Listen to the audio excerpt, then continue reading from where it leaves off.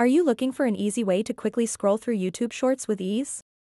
In this quick and easy tutorial, you'll learn how to auto-scroll through YouTube Shorts in just a few simple steps.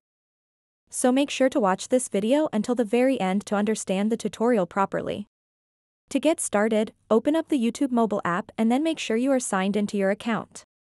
After that, tap on your profile picture icon at the top right corner of the screen. And then tap where it says Settings. So now what you want to do next is tap where it says autoplay. And then simply toggle this on.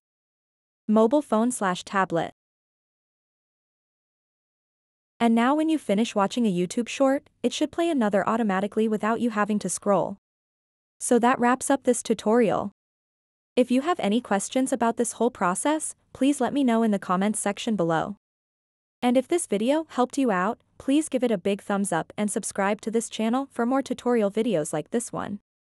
Thank you so much for watching and have a good day.